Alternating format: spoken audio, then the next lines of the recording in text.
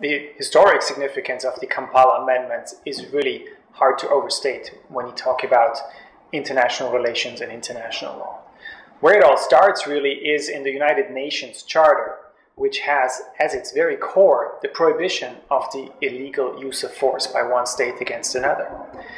And so, in a way, it is amazing that until 2010, we did not have an internationally agreed definition of what it means to commit a crime of aggression. There was no internationally agreed definition of the illegal use of force, and certainly there was no international court that had the power to prosecute those leaders who use the force use force illegally against other states.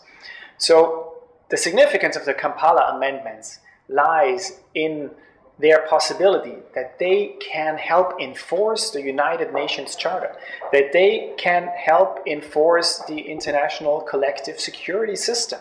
It's at the very core of the United Nations that one state should not illegally use force against another state.